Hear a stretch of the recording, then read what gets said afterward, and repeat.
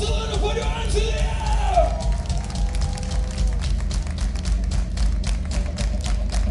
This song is inspired by Fat Wreck Chords 30 Seconds compilations.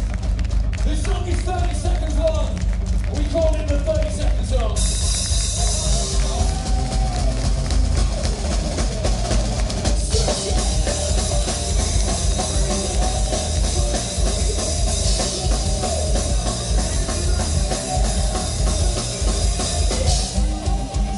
Yeah.